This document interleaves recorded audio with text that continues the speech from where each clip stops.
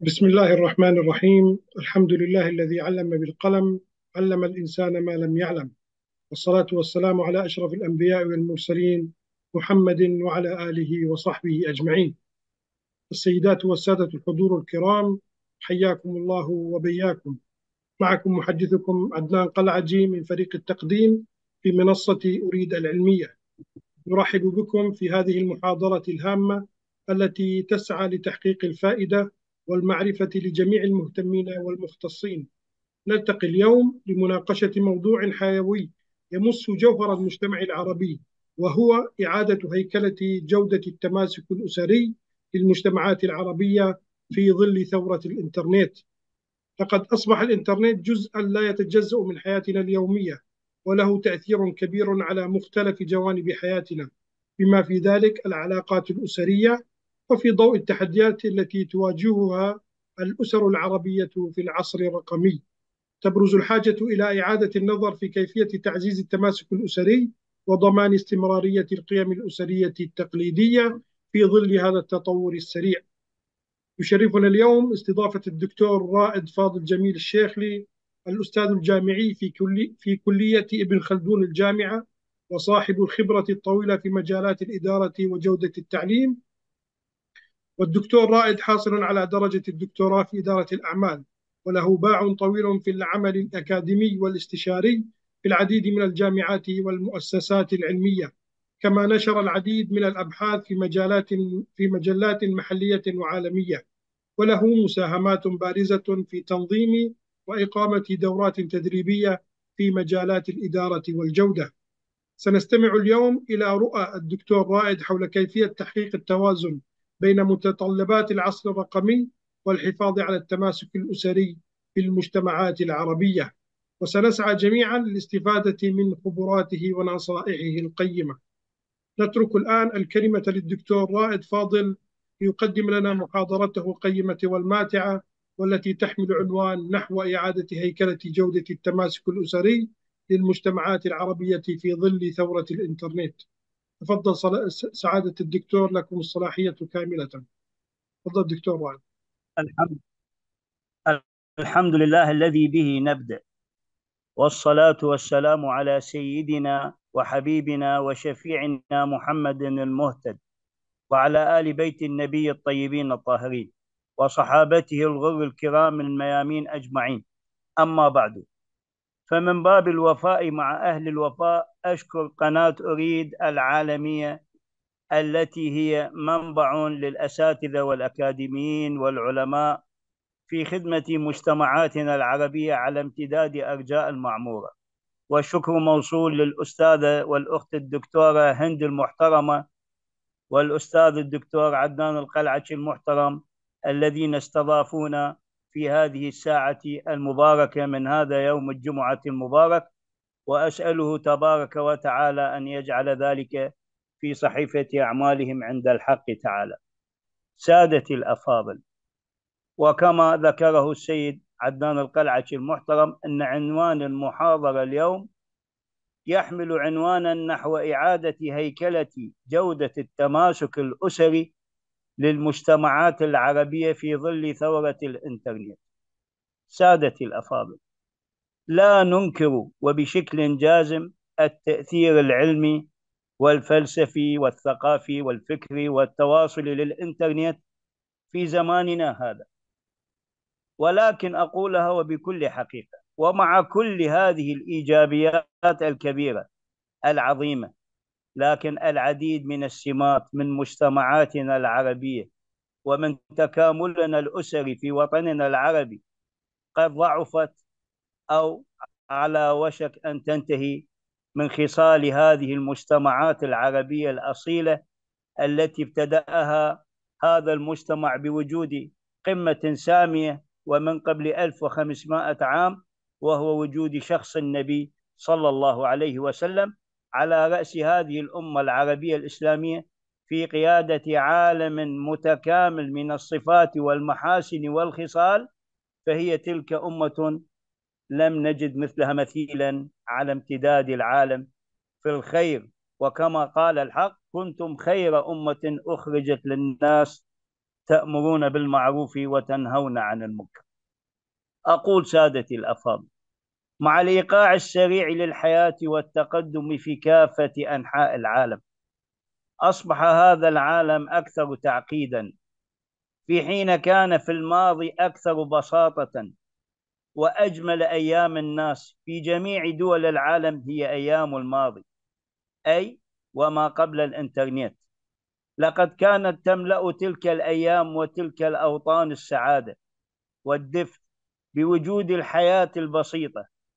وحنان الأجداد والوالدين وصدق تجاهات الجيران والتواصل الدائم مع الأقارب وصدق الأصدقاء وزملاء العمل في الوظيفة. فكانت الأماني تتحقق بسرعة واحدة تلو الأخرى لصدق الأفئدة والقلوب وصدق المشاعر بين الأمة العربية والإسلامية. بل إن الأمراض النفسية والأمراض العضوية تكاد تكون قليلة في كافة أوطاننا العربية. والنفوس طيبة نقية بريئة والعلاقات الأسرية الاجتماعية رغم بساطة الحياة تتميز بالتكامل والجمع الذي يسوده صدق المشاعر ووحدة القلوب والأفئدة وأما صلة الأرحام فكانت أوسع بكثير عما عليه الآن.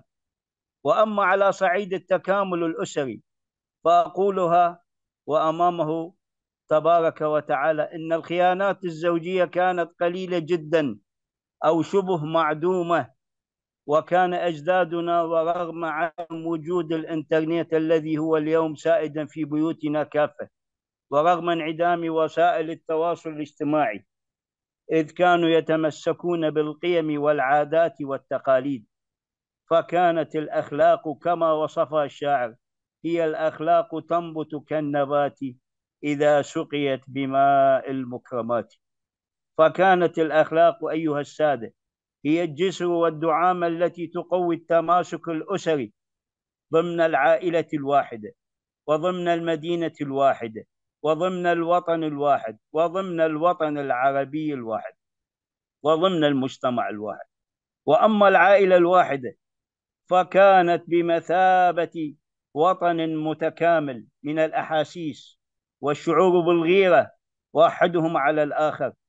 والأب يحترم حقوق الوالدة والوالدة تحترم حقوق الزوج والأولاد يحترمون حقوق الوالدين. كل منا يقبل يد والده ووالدته. وأما الجيل اليوم قد عندما يسمع هذا الكلام يشعر بنوع من الاستغراب على أن الحالة كأنما من عالم الجنة وليس من عالم الأرض. نعم هي تلك القيم التي كانت تسود في مجتمعاتنا العربية.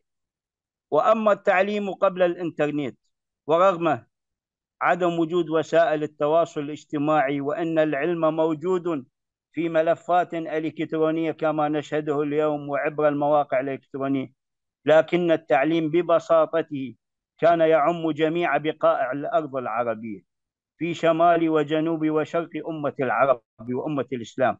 بل إن كل قارات العالم تشهد تعليما قويا رصينا محترما بعيدا عن الأمية العلمية والثقافية والأمية الأخلاقية. وكان المعلم هو المحور وهو العجلة التي تقود نشر العلم والمعرفة. بصدق توكله على الله ورغم بساطة الحياة لكن كان يحضر الدرس بنوع من الأخلاق والسمو الروحي ويطور أدائه شيئا فشيئا كي يمد الطالب المتعطش للعلم والمعرفة بكل صدق وإخلاص. كالشمس وضحاها والقمر إذا تلاها في تزويد الطلاب بالعلم والمعرفة الصادقة الحقيقية. بل كانت وسائل الغش شبه معدومة في قاعة الدرس. ويخجل الطالب من معلمه ويشعر بالحياء أمام زملائه وأقاربه ووالديه ومنطقته التي يسكن فيها فيما إذا تم مسكه يغش بقاعة الامتحان. مع انعدام وسائل الغش التكنولوجية والإلكترونية التي تشهدها بقاع الأرض كافة حتى الدول المتقدمة عالميا ومعرفيا. بل أن وسائل التأليف كانت متميزة بأصالتها وكتابها وعلمائها. وفي كل يوم تشهد أرجاء وطننا العربي نشر عديد من المؤلفات لعلماء وأساتذة الدول العربية الذين هم سادة الدنيا في عراقها في سوريا في المملكة العربية السعودية في كل عواصم الدول في شرق وغرب آسيا وأفريقيا. وكل أمة العرب المشهورة بحضارة وتراث ليس من قبله وليس من بعده حضارة أو تراث. وهنا أتذكر قول الشاعر رحمه الله إذ يقول تاريخنا من رسول الله نبدأه وما عداه فلا عز ولا شأن. لما تركنا الهدى حلت بنا محن وهاج للظلم طوفان. كان ضمير الإنسان قبل حضور الإنترنت الذي نجلسه وأنا الآن نعمل من خلاله في نشر المحاضرة. كان الضمير موجودا في كل مؤسسات البلدان العربية. وليس توجد هناك كاميرات لمراقبة أداء الموظف الكاميرات الإلكترونية بل كان ضمير الإنسان العربي بكل مشارق الأرض ومغاربها من أمتنا العربية. يعيش معه. فكان الموظف يأتي قبل نصف ساعة من الدوام ويخرج بعد نصف ساعة من الدوام مع أنه لم نجد هنالك وسائل تواصل اجتماعي عدا الهاتف العادي بالأسلاك. ولكن كان الضمير هو رقيب الإنسان في كل مكان من مؤسساتنا العربية. وكانت الأجهزة الإدارية ومؤسسات الدول العربية كافة تتميز بالريادة والأصالة والحداثة وقيم الالتزام الوظيفي فلا نجد فسادا إداريا ولا ماليا ولا فسادا أخلاقيا أو سلوكيا. الجميع يراقب ضميره ويعشق هاتفه القلب وروح بالله تبارك وتعالى لكي تطرح البركة في الزمان والمكان. وهنا أتذكر قول أحد الصالحين إن لله خواص في الأزمنة والأمكنة والأشخاص. والزمان هو زمان حضرة النبي صلى الله عليه وسلم ومن ثم زمان آله الطيبين ومن ثم صحابته الغر الميامين وعلى شاكلتهم رضوان الله تعالى عليه أجمعين. والأمكنة هي أمكنة كبيرة في في بلداننا العربية. تبدأ من مكة حماها الله ثم عواصم الدول العربية. ومدينة حضرة النبي عليه الصلاة والسلام. كل مدن العربية والإسلامية هي مدن مباركة طالما يذكر فيها اسم الله في المساجد في المؤسسات في الأسواق في كل مكان رغم انعدام وسائل التواصل الاجتماعي. لكن هكذا ذكر يطرح البركة في القلوب فتتعشق بالاتصال بالله تبارك وتعالى فتكون الضمائر حاضرة بلا تواصل اجتماعي. يتصل الأخ بأخيه في عالم الأرواح ويسأل عنه ويتصل به في عالم القلوب ويتصل عنه بالزيارات الميدانية إلى بيت شقيقه إلى بيت جاره إلى بيت صاحبه في الوظيفة. هكذا كانت قيمنا قبل الإنترنت مع إيجابياته حتى لا يقول أحد الزملاء لكن يا دكتور فيه إيجابيات. نعم قلنا في بداية الجلسة هنالك العديد من السمات التكنولوجية والمجتمعية والأخلاقية. لكن سنعرج على ماذا استفدنا من هذه السمات وماذا حل بنا من السمات السلبية لهذه الوسيلة الاجتماعية. إن قدسية الوالدين أي أيها السادة كان لها مقام كبير وحضور كبير في الأفئدة والقلوب في مجتمعاتنا العربية. وكان لها التأثير الساحر في حياة الناس. وحب الأوطان كان من ثمرات الإيمان وكان عدد المساجد قبل ظهور الإنترنت رغم أنه قليلا مقارنة بما نجده اليوم من كثرة عدد المساجد في بلدان العربية. لكن الزيادة الملحوظة قد طرأت أيضا بالمقابل نتيجة استخدام الإنترنت الاتجاه السلبي في ظهور أعداد من الملحدين الذين يطعنون في ديننا الإسلامي الحنيف. وأدى ذلك إلى ضعف الإيمان لدى فئة من الشباب وتهربهم من العبادات وإنا لله وإنا إليه راجعون. أيها السادة الكرام قديما كان المجتمع هو صمام الأمان لحفظ القيم والأخلاق والمبادئ من الضياع والاندثار وكانت الأعراف المتداولة في المجتمع بمثابة القانون الذي هو موثق ويصعب اختراقه أو تجاوزه. بل كانت العوائل العربية تشهد تماسكا كالجدار الذي يصعب إسقاطه أو إيقاعه. وكانت النخوة والشهامة العربية هي السيف الذي يسود في كل أرجاء أمتنا العربية والإسلامية. يسود علاقات التسامح في الأسر وفي العوائل في الأسواق والجامعات في المجتمعات في كل مكان من بلداننا العربية والعربي مشهور بكرمه يسوده المودة والعفو والتواصل والرحمة وحسن الظن بالآخرين وقلة الأشخاص الذين يعملون بالغيبة والنميمة وقلة الخيانات الزوجية وكثرة أهل الصلاح من أهل الخير بين الناس. بل كان الحياء سيد المجتمعات العربية للرجال والنساء. والأطفال والشابات انسجاما مع قول رسوله الأعظم عليه الصلاة والسلام القائل الحياء شعبة من شعب الإيمان والإيمان من شعب الجنة. أما اليوم فقد حتمت علينا وسائل التواصل الاجتماعي الملابس والسلوكيات التي إذا ما قمنا بتوجيه الأجيال عنها قالوا عنا نحن متخلفون. أو جيل قديم بينما كان ذلك الجيل يرسم ملامح. إذا قارناها بملامح اليوم قد يقولون عنا ذلك مجتمع من الفضاء لأن القيم الأخلاقية والاجتماعية والعلمية والفكرية والفلسفية والولاء للأوطان لم نجد مثل ما نجده في أيامنا هذا. بل كانت عظيمة وقيم كبيرة جدا. وكان احترام الكبير سواء كنا نعرفه أم لا نعرفه فرض من فروض الأخلاق يستحيل التخلي عنه. وكان ذلك زمنا مشهودا لكل الدول العربية ومجتمعاتها. وكان للأشياء معنى وقيمة. ولا زلنا نحفظ في أذهاننا قيمة الجار انسجاما مع قول سيد رسول الله صلى الله عليه وسلم القائل أوصاني خليل جبريل بالجار حتى ظننت أنه سيورثني. وصلى الله على سيدي محمد صلى الله عليه وسلم. وأما تبادل صحون الطعام في المجتمعات العربية بين الجيران والإخوان والأصحاب فكان سمة ليس من بعدها سمة.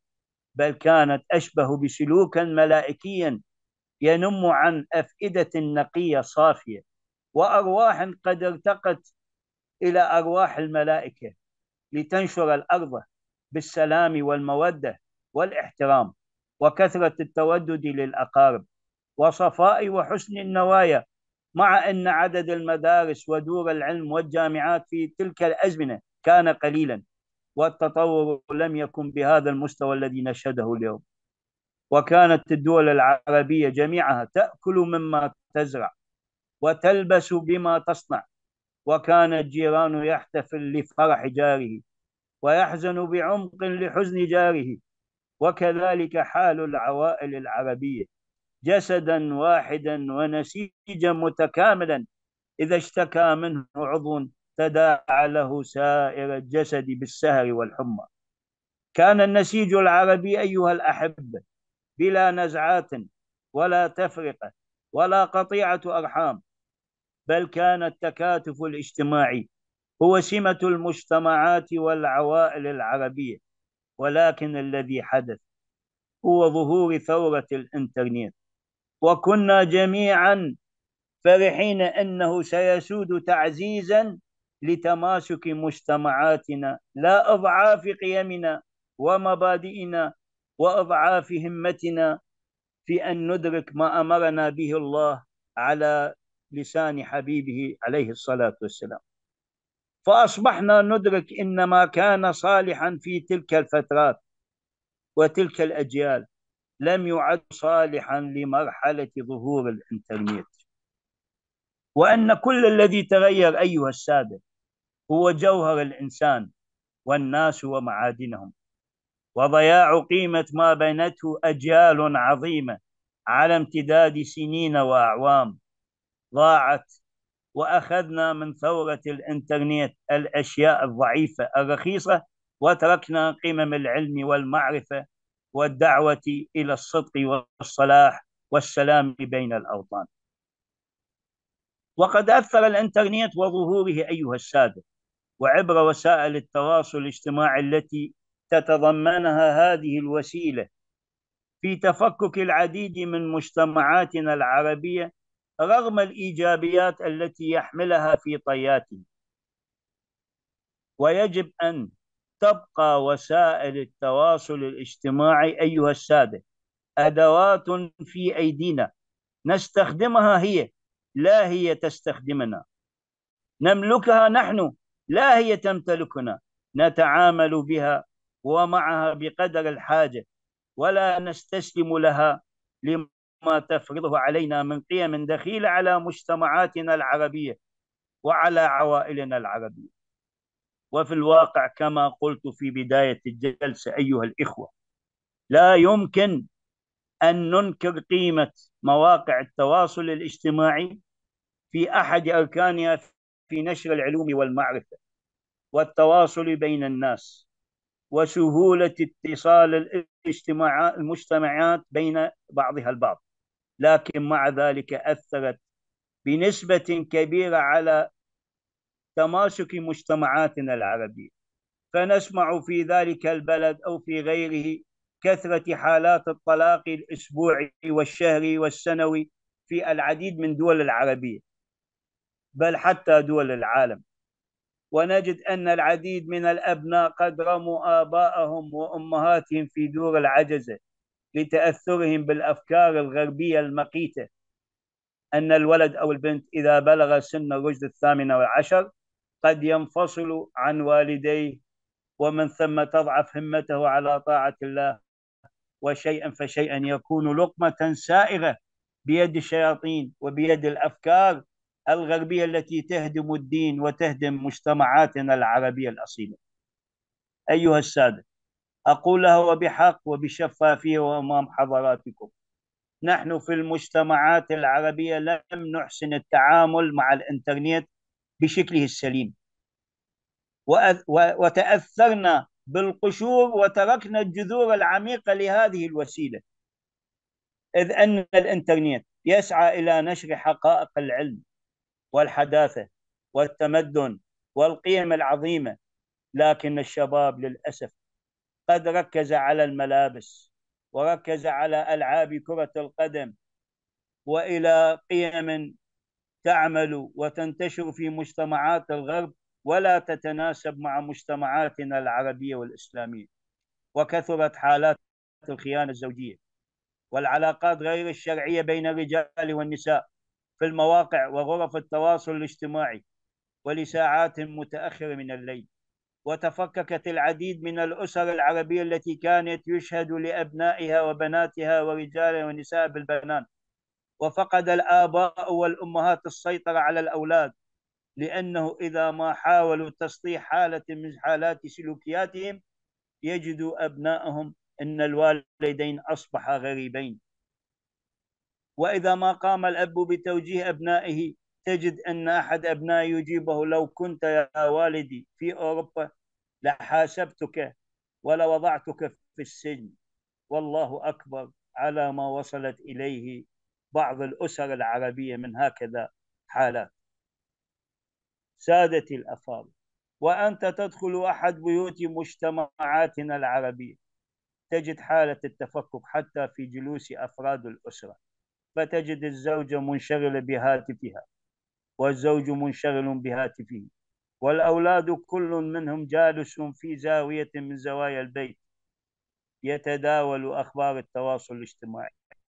وإذا ما أذن المؤذن لصلاة الظهر أو العصر ترى أن جميع أفراد العائلة قد يتأخرون أو يتخلفون أو حتى لا يصلون تلك الفريضة.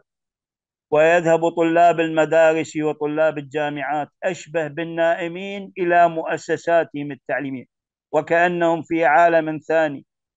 فلا قيمة للجان الإرشاد العلمي والنفسي في المدارس والجامعات لأن الطلاب لم يشبعوا من ساعات نوم كافية. والزوجات تقصر بحق الأزواج لانشغالهم بهواتفهم النقالة وينام عن صلاة المفروضة إلا ما رحم الله. وأصبح الوالدين سجناء لتلك المواقع. ومن الصعوبة الاطلاع على ما في هواتف أولادهم لأن ذلك يشكل خرقا للديمقراطية الغربية التي شرعتها قيم الغرب على حساب وحدة وتماسك أوطاننا العربية وعوائلنا وأسرنا. وإذا ما حاولت الزوجة توجيه زوجها بعدم الإكثار من التواصل الاجتماعي فيجيبها يجب أن تقللي أنت من ساعات الاطلاع على الهاتف كما تطلبين مني. هكذا أصبحت حال مجتمعاتنا اليوم. وبشكل أصبح يسيطر العنف والانهيار النفسي والإجرام على كثير من عوائلنا العربية. وانخفض عدد القائمين لصلاة الليل. بل أن دور الدعاة أصبح دورا تقليديا كلاسيكيا ينحصر في المسجد فقط وانخفضت قيمة المعلم لأنه هو ينشغل أولا بالإنترنت فكيف يوجه طلابه على أن يناموا مبكرين كي يستنقذوا لصلاة الفجر أو لقيام الليل مبكرين؟ وأصبح دور معلم ليس مربيا فاضلا داعيا للقيم ومبادئ الشريعة السمحاء أصبح أشبه بآلة تعطى العلم ولا تعطى الأخلاق. وهنا أتذكر قول الشاعر رحمه الله شريعة الله للإصلاح عنوان وكل شيء سوى الإسلام خسران. وأصبحت حالة الاغتراب والاكتئاب النفسي تسيطر على العديد من أفراد العوائل العربية. فعندما يسأل الأب أو الأم أحد أولادهم ما بك حزين؟ يقول لا أعرف لكنني أشعر كئيبا. والحقيقة أنه ابتعد عن الله سبحانه وتعالى ظاهرا وباطنا. وكم كان قد بنى جسرا طيبا في التعامل مع خالقه في الالتزام بالعبادات تراه هجر قرآنه. هجر سجادته التي كان يصلي عليها. هجر المساجد هجر صلة الأرحام هجر طاعة والديه. فالذي كان يقبل يدي أبيه وأمه بالأمس القريب أصبح لا يسلم عليهم حتى في أيام العيد أو في أيام رمضان أو يلتقي بهم فقط في رمضان على مائدة الإفطار. وضعف التماسك الأسري والاجتماع بين الزوج وزوجته. وبينهم وبين أولادهم وبناتهم. بل أصبح حب الأوطان كلمات تقال على الألسن وأصبحت مفاهيم القيم والأخلاق مجرد كلمات تقال في المجتمعات وانخفضت عدد اللقاءات العائلية في البيت الواحد. فالأب الكريم والأم الكريمة التي كانت كل يومين تلتقي بأولادها وتوجههم حذاري من أن تعملوا كذا وكذا. أصبحت عاجزة عن ما قالته بالأمس أن تقوله اليوم لأنها أصبحت غريبة. فتغذي الأولاد والبنات بالقيم السماوية السمحاء لديننا الكريم لكن عندما يذهب الولد أو البنت إلى دور العلم هنالك جماعات التأثير والضغط الإداري والنفسي تؤثر عليهم. فما تعلموه قبل خروجهم من المدرسة من أمهم أو أبيهم يكاد قد انتهى بخمسة ساعات قضوها في الدوام الرسمي في الجامعة والمدرسة. وظهرت الأمراض النفسية والقتل والانتحار الذي تعانيه الدول الغربية في مجتمعاتنا العربية والإسلامية. وأصبحت المذهبية والحزبية والعشائرية تهيمن على قيم المجتمعات. وبمجرد الضغط ضغطة واحدة على أحد مواقع التواصل الاجتماعي تنتهي حياة أحد الزوجين. كان بالأمس من أسعد الناس وتحولت حياتهم إلى شكوك ثم خيانة ثم انفصال ثم طلاق ولا حول ولا قوة إلا بالله. وأما على صعيد تأثير الإنترنت على الهوية الجامعية لطلاب الجامعات فأقول وبالله التوفيق. أيها السادة الأحبة الكرام إن الهوية الجامعية هي عبارة عن مجموعة قيم أوجزها بالآتي قيم أخلاقية عليا. من اسمها؟ جامعة. تجمع الكلم الحقيقي الصادق. تجمع القيم الصادقة. تجمع القيم العلمية الصادقة. تجمع القيم الأكاديمية الصادقة. تجمع حقائق العلم السماوي الذي مد الله به نبيه عليه الصلاة والسلام ومده لأمته وحتى تقوم الساعة. بأبي هو وأمي عليه الصلاة والسلام. الهوية الجامعية تعني حب الأوطان. الهوية الجامعية تعني الشجاعة الهوية الجامعية تعني الغيرة للطالب على أخته الطالبة وأن يشفق عليها في توجيهها لا أن يكون ذئبا بشريا. والعديد من طلاب الجامعات اليوم يفهمون أن الجامعة والكلية واحة لنشر العلاقات الإباحية ووسيلة لإقامة العلاقات اللا شرعية إلا ما رحم الله من يأتي إلى الجامعة في قصده الحصول على درجة علمية ونيل المعارف وأصول العلم والمعرفة. وفي دراسة مسحية لأحد الجامعات في الدول العربية أجريت الدراسة على 325 طالبا وطالبة في تلك الجامعة. تم اختيارها إحصائيا بشكل عشوائي. ظهر في الدراسة الآتي اسمعوا سادتي الأفاضل. ضعفت اهتمامات طلاب الجامعة لهذه العينة 325 بشكل أكثر من 85% في تقديم واجباتهم اتجاه آبائهم وأمهاتهم واحترامهم. في مرحلة الدراسة الجامعية لكثرة استخدامهم للإنترنت بفترة من ساعتين و31 دقيقة إلى سبع ساعات يوميا. يعني الطالب يضيع من وقته اليومي سبع ساعات على الإنترنت. طيب إيش بقى من العبادة لله؟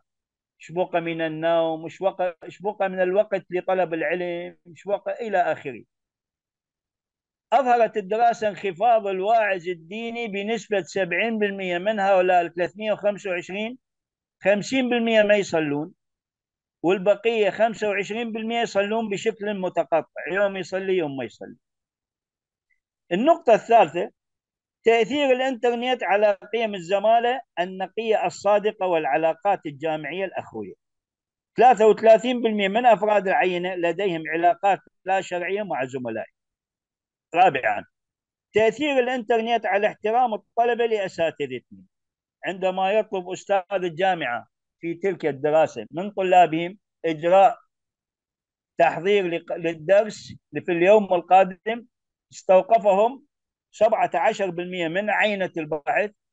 لماذا نحضر أستاذ الدرس وأنت موجود في القاعة؟ هكذا وصل الاحترام في بعض الجامعات العربية.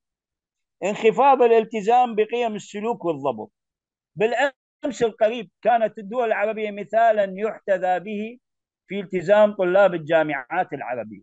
كان الطالب يحضر إلى قاعة الدرس قبل نصف ساعة ويجلس على مقعده الدراسي الآن في الامتحانات العامة في هذه الدراسة التي أجرت في أحد الجامعات العربية يحضر الطالب متأخرا بين 30 إلى 50 دقيقة للامتحان النهائي. تصوروا مو قاعة درس امتحان نهائي.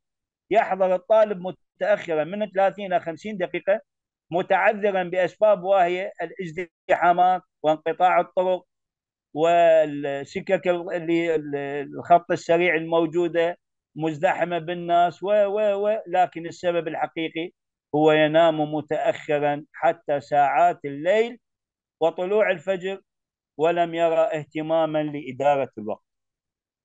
كثرة حالات الجرائم الإلكترونية بين الطلاب. يعني الطلاب في حفلات التعارف في الصف الأول يأخذون هواتفهم فيما بينهم في الصف بحجة التواصل العلمي والمعرفي وما إلى ذلك من شعارات لكن سرعان ما يقوم الطالب بالإساءة إلى زميلاته في الصف من خلال استخدام خبراته في عالم الإنترنت. زيادة حالات السرقة العلمية لأساتذة الجامعات من خلال الإنترنت. تجد أحد الأساتذة في هذه الدراسة أخذ اسم باحث زميل له في تلك الجامعة ومسح اسمه وأضاف اسمه وغير تغييرات بسيطة على البحث لكي ينسب له جهود ذلك الأستاذ. انخفاض رصانة التعليم في العديد من الدول العربية. زيادة الخيانة بين طلبة الجامعات في علاقاتهم مع بعضهم البعض. يعني مثلا يأتي أحد زملاء الطلاب في الجامعات في تلك الدراسة ويصارح زميله بأنه يحب زميلته ويرى, ويرى بأن المستقبل لخطوبتها وزواجها وفق الشريعة السمحاء فما كان من هذا الطالب إلا أن يخون صاحبه حسب هذه الدراسة التي أجرت في أحد الجامعات العربية ويذهب لإقامة علاقة مع تلك الشابة والطالبة قاصدا سرقتها من زميله وما إلى ذلك من قيم وضيعة. زيادة حالات الغش نتيجة استخدام الإنترنت. أقولها بصراحة وبشفافية الحديث مع سيادتكم سادتي الأفاضل. إذا رجعنا إلى خمسين عاما ستين عاما في جامعاتنا العربية في مؤسساتنا التعليمية ابتدائية متوسطة ثانوية إعدادية. لم نكد نسمع إلا ما يعني حالات معدودة. أن طالبا ما قد غش في مادة. لأن كان الطالب يهاب إدارة المدرسة. إدارة المدرسة قويمة رصينة غير مصابة بفساد إداري أو مالي. ويهاب أستاذه ومعلميه لأن معلمه يسأل الطالب فيما إذا كان بحاجة إلى مال إلى أجرة لكي يركب واسطة النقل ويعود إلى بيته. الآن في العديد من الدول العربية أصبح الطالب مصدر منفعة للأستاذ. يعطيه لكي يقوم الأستاذ برد الجميل له وإعطائه الأسئلة وما إلى ذلك. وأقول هنالك حالات في الدراسة التي اطلعت عليها. انخفاض الرصانة العلمية للخريجين في العديد من الدول العربية. يعني الآن إذا نعمل مقارنة بين الأجيال الثلاثينات والأربعينات والخمسينات والستينات وبين الأجيال اليوم ونعمل امتحان رصانة علمية نجد أنه رغم انعدام الإنترنت في تلك الفترات والحقب البعيدة لكن قدرة المطاولة العلمية لتلك الأجيال أوسع. يعني نقولها في بلدنا العزيز العراق. كان الطالب يذهب إلى محافظات لكي يجلب كتابا مرجعا علميا يعزز به محاضرته وأدائه العلمي. هكذا هي بلداننا العربية العزيزة. أما اليوم ورغم الإنترنت يذهب العديد من الطلاب إلى مكتبات لكي يعملوا لهم بحوث التخرج. وهذا العديد من الدول العربية تشهد هذا الكلام. عندي زملاء في العديد من الدول العربية قد تكون في الخليج في الشرق في غرب الأمة العربية العظيمة يقولون في بحوث التخرج نواجه مشاكل لأن الطالب قد اشترى بحثه. هاي من تأثيرات السلبية الإنترنت. ننتقل إلى الهوية الوطنية. كيف نعززها للطالب؟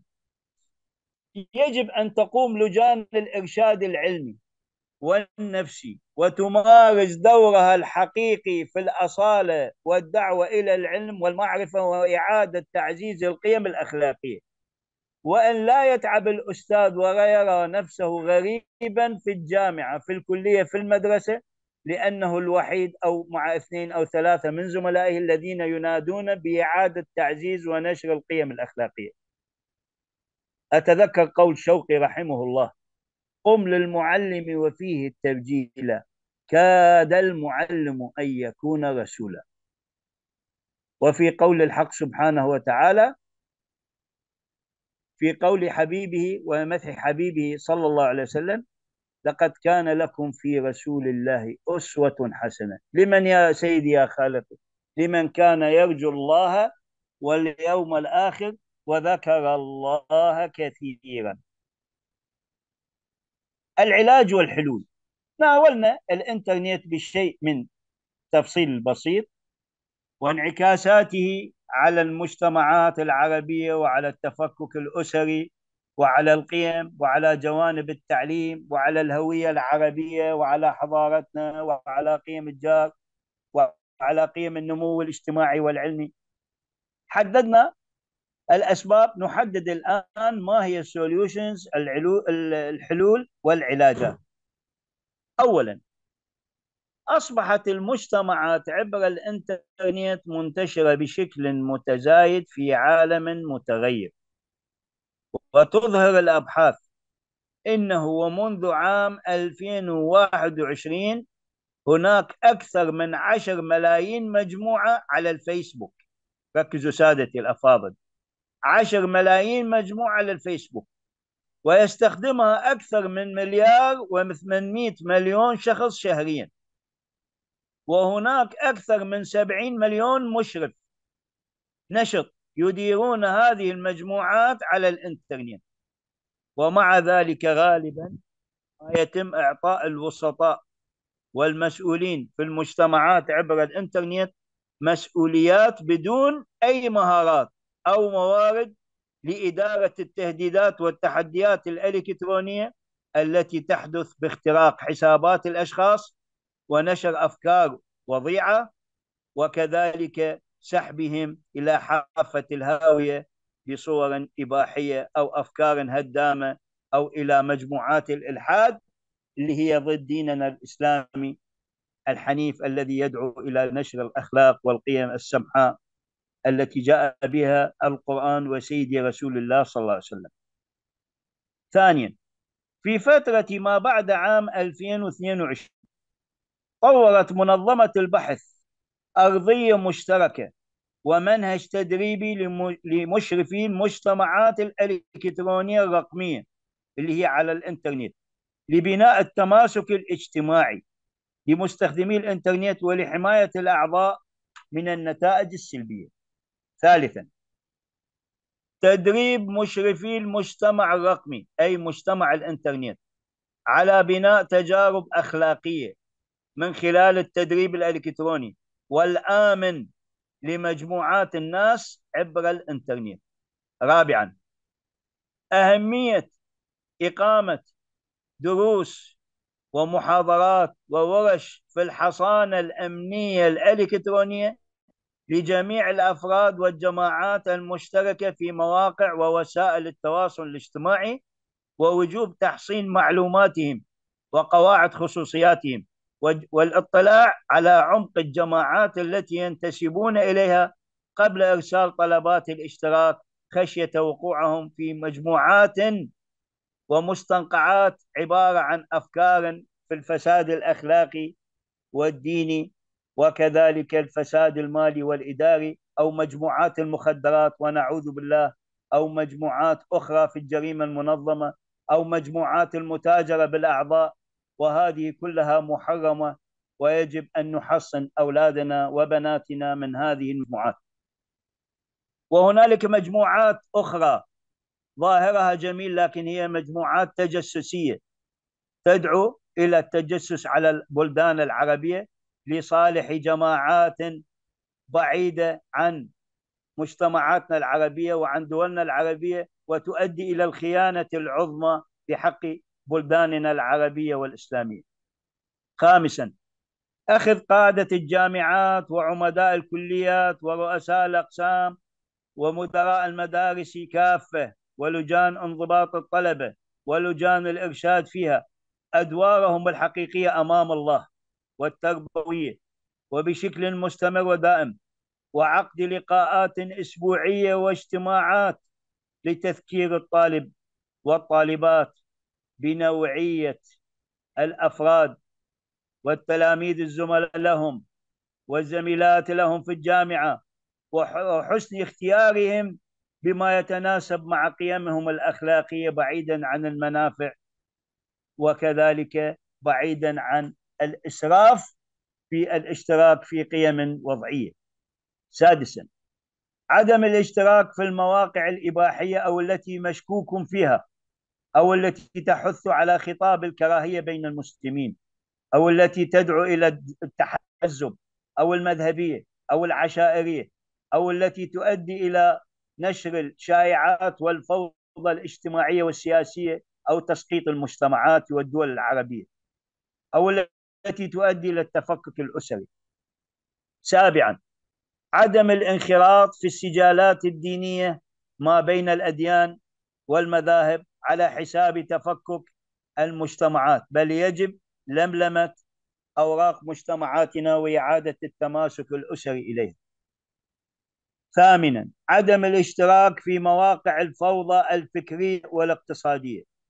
تاسعا لا تكن مساهما في نشر الفوضى الفكرية أو التحدث بأمور تهم الدين لكن أنت بدون دراية أو خلفية علمية للمشاركة فيها وبشكل يؤدي إلى أضعاف هيبة الدين نتيجة عدم إلمامك بالعلم الشرعي وسياقات هذا العلم. عاشرا الاستفادة الحقيقية الصادقة من التواصل الاجتماعي في نشر البحوث العلمية التي تخدم الإنسانية وتخدم عوائلنا العربية وتعزز من رصانة الأخلاق وتماسك المجتمع وحب الأوطان وحب الوطنية الحقيقية لكل بلد وتعزيز المناهج العلمية الرصينة وتعزيز وحدة الصف العربي وقيم المجتمعات العربية الأصيلة وتاريخها وتراثها وحضارة بلاد العرب المجيدة. نقطة الحادية عشر. تجنب الإفصاح وبشكل صريح عن معلوماتك الشخصية لكائن من كان وأن لا تمنح الثقة لكائن من كان. ثاني عشر. تجنب الوصول إلى حالات الابتزاز الإلكتروني عند سيطرة الشهوة والثرثرة على مستخدم الإنترنت. ثالث عشر. تجنب التعليق في مواقع تسيطر عليها الجيوش الإلكترونية لكي تسحب مستخدم الإنترنت إلى مساحات تؤذيه وتضره مستقبلا. رابع عشر. عدم الإجابة على إيميلات مجهولة الهوية. خامس عشر. عدم الإجابة على الإعلانات التي ظاهرها جميل لكن تسيطر عليها سراق يسرقون رواتبك أو معلوماتك. خامس عشر. محاولة تأصيل القيم والمبادئ الأخلاقية لديننا الحنيف. إلى هنا فيه قدر من الكفاية. والصلاة والسلام على سيدي رسول الله المشهود بالهداية الشفيع المشفع يوم العرض على الله. فأترك المجال لسيادتكم سادتي الأفاضل وأكرر شكري من بعد الله تبارك وتعالى إلى أستاذتي الأخت الدكتورة هند المحترمة والأستاذ الدكتور عدنان قلعشي الذين أفاضوا علينا بعد الله في هذه السويعة كي نناقش موضوعا في غاية الأهمية. يبكينا ويزيد من همومنا لما نجده في مجتمعاتنا ومجتمعات بلادنا العربية من هموم وأحزان من جراء الاستخدام السلبي للإنترنت. فأترك المجال لسيادتكم. إن كان في صدوركم سؤالا أو مداخلة فحياكم الله وبياكم. جزاك الله خيرا بارك الله فيك سعادة الدكتور. رائد فاضل جميل الشيخلي على هذه المحاضرة الرائعة والتي يعني شخصت فيها المشكلة وإن شاء الله وضعت لها الحلول والعلاج. بارك الله فيك ونسأل الله أن يكتب لك ذلك في ميزان حسناتك. نعم أحبتنا الحضور الكرام آه نفتح الآن باب المداخلات والاستفسار لمن أحب أن يستزيد. آه فبإمكانه رفع أداة اليد للمشاركة بطرح سؤاله أو بطرحه مباشرة في صندوق المحادثة الدردشة الشات. فتفضل من أحب أن يشارك فليرفع أداة اليد. نعم معنا المداخلة الأولى الباحث بالوافي تفضل. بسم الله الرحمن الرحيم والصلاة والسلام على أشرف المرسلين. سيدنا محمد وعلى آله وصحبه وسلم تسليم. وتحياتي للجميع مع حفظ الألقاب والرتب والمهام. على كل حال ليست لدي إضافة وإنما هي رسالة شكر وتقدير واحترام وإجلال لأستاذنا الفاضل المحاضر الدكتور رائد على هذه المحاضرة القيمة التي من خلالها أعطانا معلومات كثيرة وكثيرة من الواقع الذي نعيشه ونتمنى أن تجد هذه المحاضرة وما جاء فيها أذان صاغية لمن اطلع عليها وشكرا لكم على إتاحة هذه الفرصة لي والسلام عليكم ورحمة الله تعالى وبركاته. شكرا بارك الله فيك. شكرا. جزاك الله خيرا. تفضل دكتور رائد.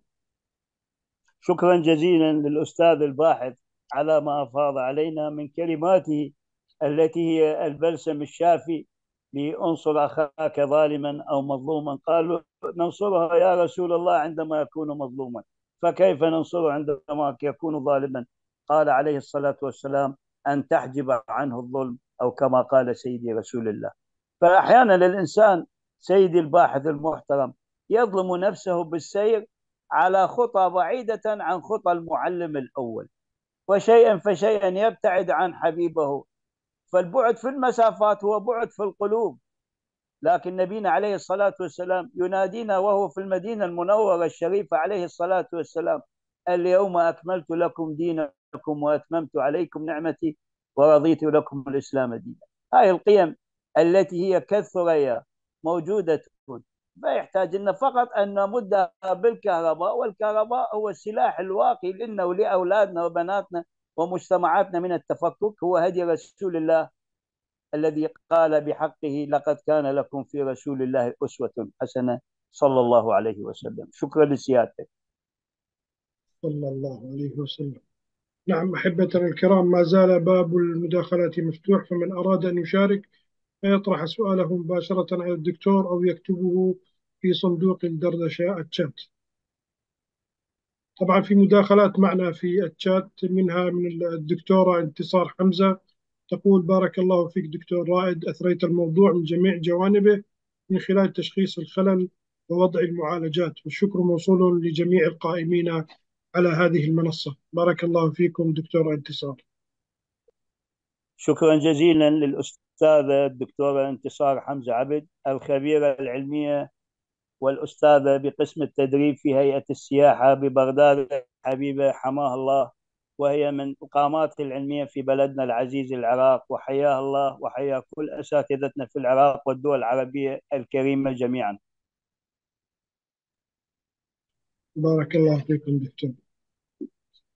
طيب ما زال باب المداخلات مفتوح من أراد أن يشارك فليتفضل.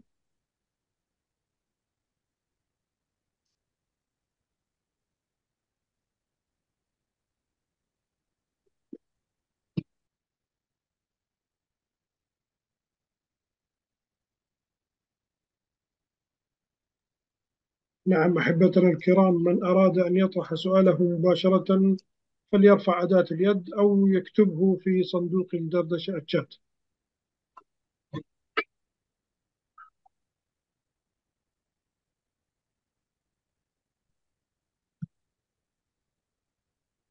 طيب معنا مداخلة.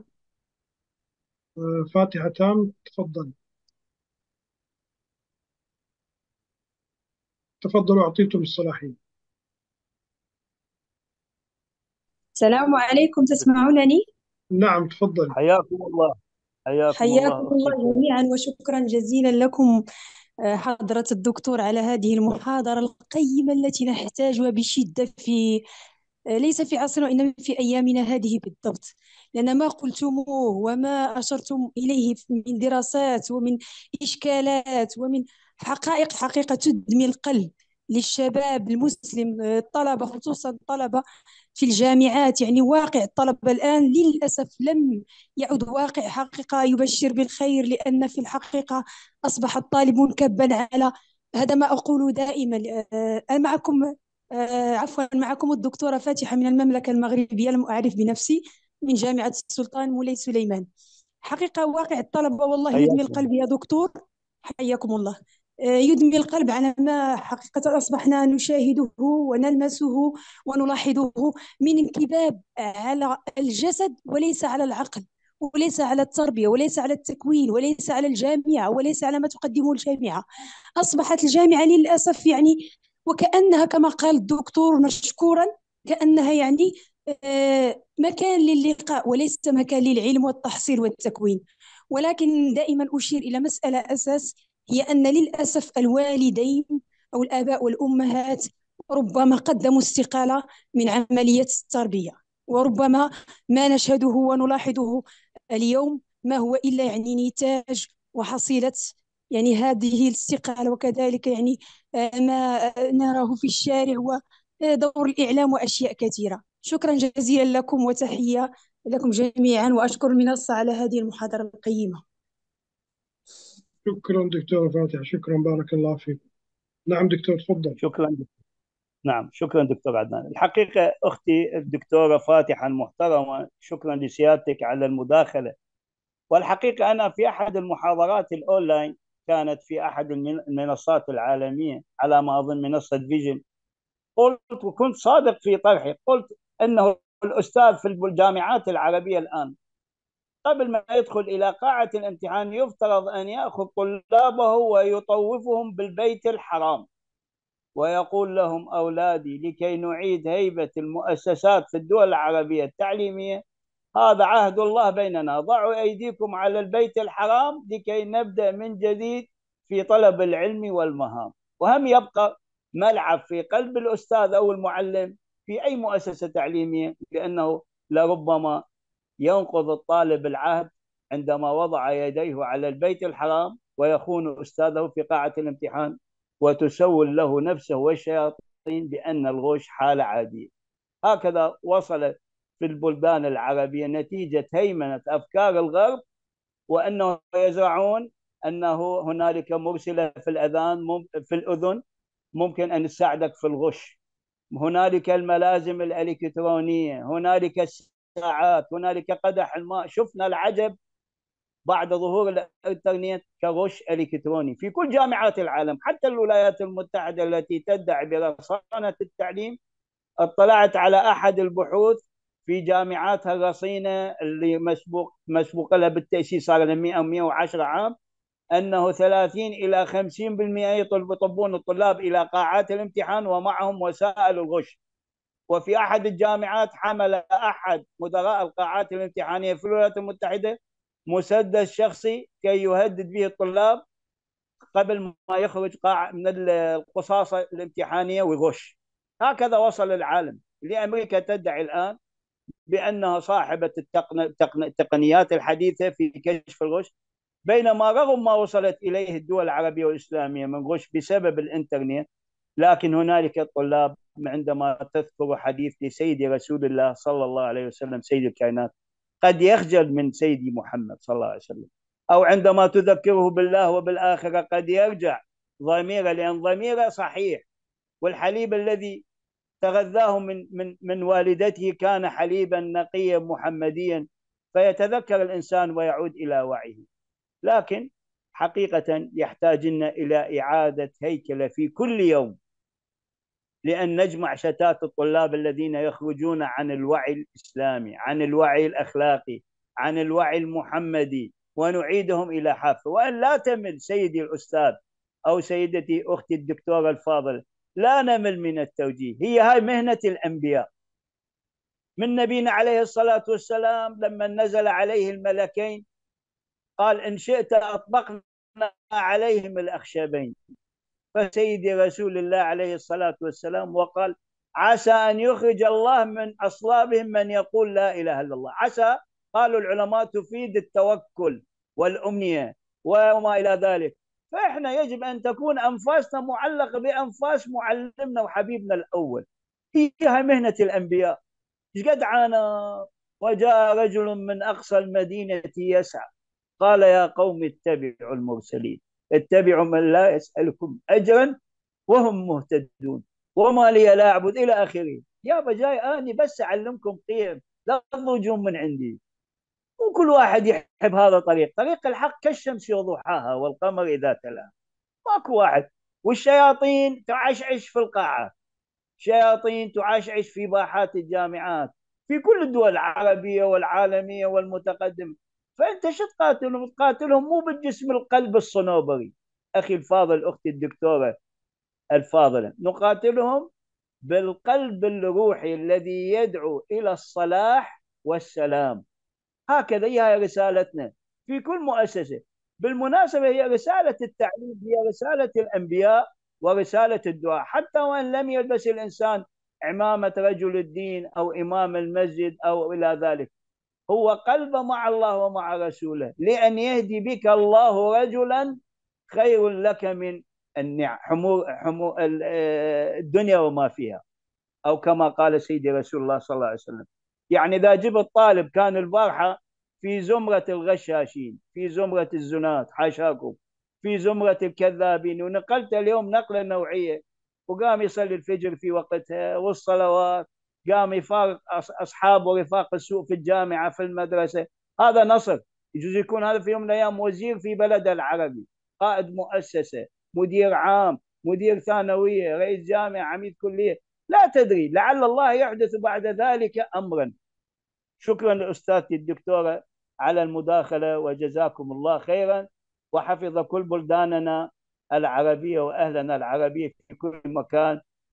من الشام إلى تطوان إلى آخره وقول الشاعر رضي الله عنه ورحمه. اللهم آمين. بارك الله فيك دكتور. نعم. نعم معنا مداخلة الدكتور أحمد الرجوب تفضل. دكتور الرجوب تفضل ورحمة الله وبركاته. حياك الله عليكم وعليكم السلام. تحيات لدكتور رائد أستاذ عدنان. بارك الله فيكم وكل الشكر والتقدير أيضا لمنصة أريد ورئيسها التنفيذي والمشرفين جميعا.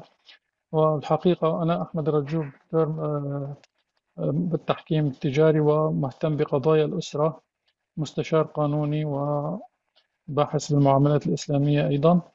آه، بحكم عملي في موضوع قضايا الأسرة يعني أمور قد يندى لها الجبين وهو مواضيع الانشغال الأب والأم في العمل وترك الأبناء يصولون ويجولون سواء أثناء المدرسة أو آه، بعد الانتهاء من الدوام باعتبار الأم مشغولة في عملها والأب أيضا هذا طبيعة الحال.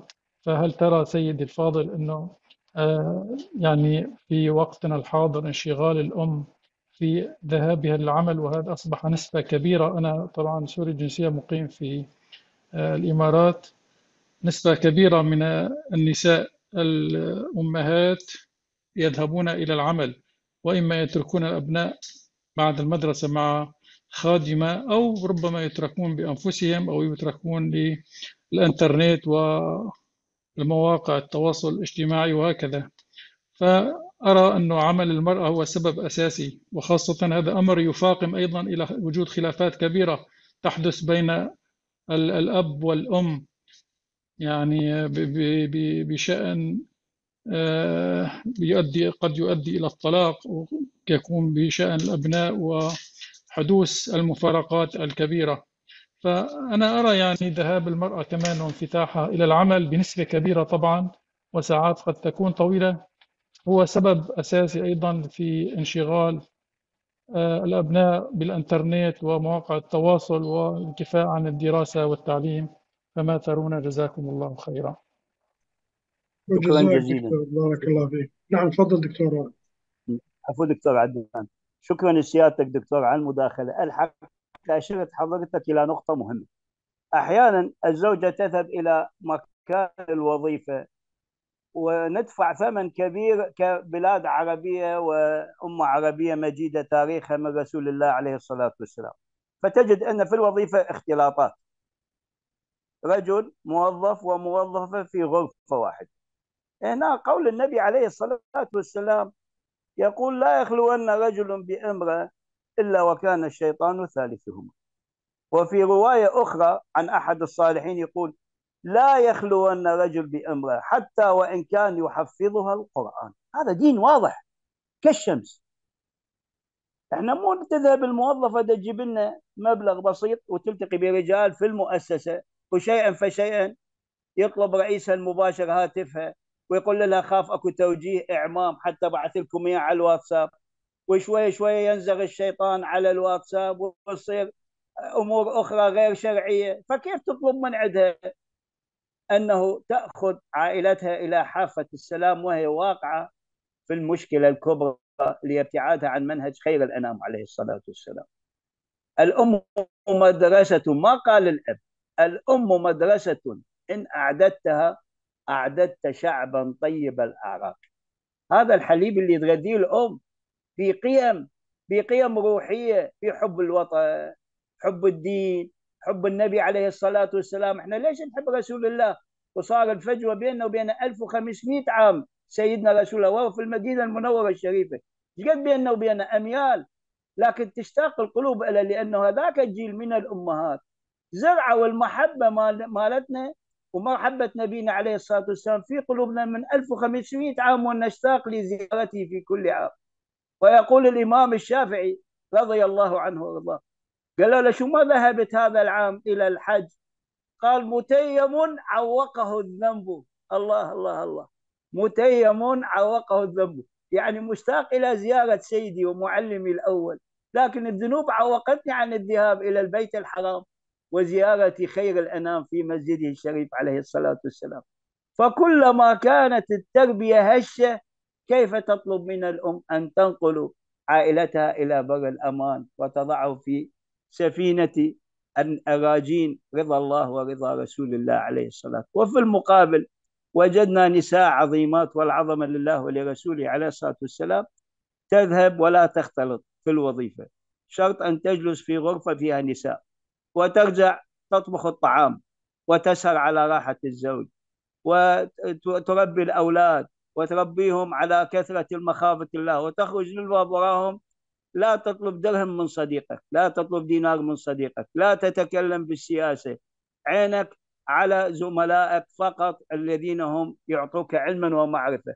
لا تنظر إلى الطالبة التي بجوارك. لا زالوا هكذا جيل من أمة سيدي رسول الله كثيرات في بلداننا العربية. ونرجو من الله أن يحفظهم ويجعلهم من كبار الداعيات إلى المنهج المحمدي الشريف. وأشكر حضرتك على المداخلة سيدي الدكتور الفاضل. شكرا بارك الله بك دكتور. معنا المداخلة الأخيرة على ما أظن. مرة أخرى الباحث بالوافي عبد الرحمن تفضل. السلام عليكم. حياك وبياك. أعود وأقول مرة أخرى أن سبب ما نحن فيه هو انحرافنا عن مبادئنا الإسلامية. ولا خلاص لنا من هذه من هذه الشوائب التي دخلت مجتمعاتنا إلا بالالتزام بهذه المبادئ. ونتمنى لو الدكتور لو كان كانت لو كان هذه المحاضرة موجودة على بشكل بي دي اف يبعثها لنا المحاضرة وشكرا. شكرا لسيادتك دكتور. بارك الله فيك. جزاك الله خيرا. وإن شاء الله نلتقي كإخوة قلبيا قبل وروحيا قبل ما نلتقي حضوريا. كل بلاد العرب أوطاني. من الشام لبغداني وما إلى ذلك من قول الشاعر. طبعا قدر تحفظ هذا الشعر؟ حقيقة بقافية عالية الجودة. فأعتذر لعدم حفظه وأعترف أمام حضراتكم بأنه أثقلت الدنيا على ذاكرتنا والهموم فضعفت الذاكرة ولم يبقى إلا فيها حب الله سبحانه وتعالى. أعتذر لحضراتكم. جزاك الله خير دكتور بارك الله فيك. هذا يكفينا وزيادة جزاك الله خير. الله يحفظك. جزاكم. نعم آه كلمة ختامية دكتورنا الغالي حتى إن شاء الله ننتقل إلى طريقة شرح آه الحصول على الشهادة. فتفضل نعم. بارك الله فيك. نعم. أكرر شكري لسيادتك وللأستاذة الدكتورة هند المحترمة. أكو ناس تلتقي في التجارة وفي رؤوس الأموال. نحن التقينا عبر هذه الساعة المباركة. إخوة أشقاء ما دام في عيوننا حب أوطاننا وديننا وعلومنا التي منحها الله لنا وإن شاء الله لا نقول وداعا بل هذه ستكون ساعة أولى للقاء أخوة يتداولون علومهم ومعارفهم التي منحها الله لهم في قلوبهم وعقولهم رغم بعد الأميال والمسافات. نبقى على منهج سيد الكائنات سيد رسول الله عليه الصلاة والسلام. في الأيام الباقيات من أعمارنا وخلواتنا مع الله سبحانه وتعالى. وإن شاء الله الله يحفظكم ويحفظ بلداننا العربية ومدننا العربية ويحفظ أهلنا في كل مكان من العراق والشام. والأفريقيا وآسيا العربية ويجعل الخير والبركة في كل جزء من أجزاء بلداننا العربية ويكفينا الله شر الهموم والأحزان وكل اعتداء ويحفظ السلام الذي منه الله علينا وهو السلام ومنه السلام. ونستودعكم الله الذي لا تضيع ودائعه. ونرجو الله دعواتكم إلى هذا العبد الفقير إلى الله سبحانه وتعالى. أعتذر عن الإطالة جزاك الله عنا كل خير وبارك الله فيكم. سعادة الدكتور رائد الشيخلي على هذه المحاضرة الرائعة وعلى هذه المداخلات الأكثر من رائعة وقيمة. جزاكم الله خيرا ونسأل الله أن يكتبها لكم في ميزان حسناتكم. نعم أحبتنا الكرام وصلنا معكم جزاك الله خير دكتور الله يكرمك. وصلنا معكم إلى طريقة الحصول على رابط الشهادة الحضور والشهادة. وسنقوم إن شاء الله سوية بشرح هذه الفقرة. نعم أحبتنا الكرام نقوم بالدخول إلى محرك البحث جوجل. أولا تم وضع رابط جميع الروابط في الشات لمن أراد أن يدخل مباشرة لها وبإمكانه أن يعود معنا للشرح. فندخل على محرك البحث جوجل ونكتب في خانة البحث منصة أريد العلمية فتظهر بالصورة الواضحة أمامكم. لمن كان مسجلا في المنصة فبإمكانه بمجرد الضغط على تسجيل الدخول سيقوم بالدخول مباشرة بعد وضع إيميله وكلمة السر. وبالنسبة للأعضاء الذين لم يلتحقوا بعد معنا فبإمكانهم الضغط على تسجيل أو سجل مجانا. ننتقل بعدها مباشرة إلى هذه الفقرة ويتطلب معلومات بسيطة كالاسم باللغة العربية والإنجليزية. وبريد إلكتروني فعال وكلمة مرور وتأكيدها واختيار الدولة التي نحن فيها. بعد ذلك نقوم بالضغط على التسجيل فترسل المنصة رابطا إلى إلى البريد الإلكتروني الخاص به وبمجرد الضغط عليه نصبح أعضاء رسميين في المنصة. وهناك أيضا فيديو مرفق يشرح طريقة التسجيل بصورة بسيطة. بعد ذلك ننتقل إلى الحائط حائط المنصة أو الصفحة الرسمية لها والتي تظهر أمامكم بهذا الشكل. نقوم بالضغط على نظام عليم من الطرف الأيمن للشاشة. نظام عليم بعدها ننتقل إلى جميع أقسام النظام التي تظهر أمامكم. نختار منها المحاضرات القادمة. وتظهر أمامنا جميع المحاضرات التي ستقدم إن شاء الله أو قدمت وبإمكاننا الضغط على المحاضرة التي نحن بصددها وهي إعادة نحو إعادة هيكلة جودة التماسك الأسري للمجتمعات العربية في ظل ثورة الإنترنت. ندخل بعد ذلك إلى المحاضرة ونختار إصدار طبعا أولا يجب أن نضغط, نضغط على التسجيل تظهر أمامنا زر التسجيل ومن ثم نحدث الصفحة فتظهر أمامنا الروابط الخاصة بالشهادة. فمن أراد الشهادة باللغة العربية فبإمكانه الضغط على إصدار الشهادة بالعربية أو ومن أرادها بالإنجليزية فأيضا يمكنه ذلك. بعد ذلك ننتقل إلى الصفحة ونقوم بتحميل الشهادة. وهذه الشهادة برسوم رمزية قدرها خمسة دولار فقط وهذه الرسوم وذلك لاستمرارية المنصة. وبالنسبة للأعضاء الذين يمتلكون العضوية الاحترافية فبإمكانهم تحميل جميع الشهادات مجانا. وأيضا لمن يسأل عن طريقة تعبئة الرصيد فبإمكانه الضغط على علامة الزائد من أعلى الشاشة الزاوية الشاشة اليسرى. فننتقل مباشرة إلى الصفحة الخاصة بتعبئة الرصيد. وهناك عدة طرق منها عبر أعضاء أريد أو البطاقة الائتمانية أو البايبال أو شركاء الحوالات المالية. وتجدون فيها أرقام جميع شركاء المنصة وأيضا عبر ويسترن يونيون وأيضا هناك شرح مبسط لطريقة تعبئة الرصيد لمن أحب أن يستزيد من ذلك. أيضا أحبتنا الكرام سنقوم إن شاء الله برفع تسجيل هذه المحاضرة على الصفحة الخاصة بالمنصة على اليوتيوب والتي تظهر أمامكم. هذه هي الصفحة الخاصة بالمنصة على اليوتيوب والتي تشاهدون فيها جميع التسجيلات للمحاضرات التي قدمت. وجميع الفعاليات المنصة التي قدمت في الأيام الماضية. نعم أحبتنا الكرام إلى هنا نصل معكم إلى ختام هذه المحاضرة. ونسأل الله نسأل الله أن نكون اللقاء معكم قريبا في محاضرات قادمة بإذن الله. ونختم هذه المحاضرة بكفارة المجلس وهي سبحانك اللهم وبحمدك نشهد أن لا إله إلا أنت نستغفرك ونتوب إليك ونستودعكم الله الذي لا تضيع ودائعه. والسلام عليكم ورحمة الله وبركاته.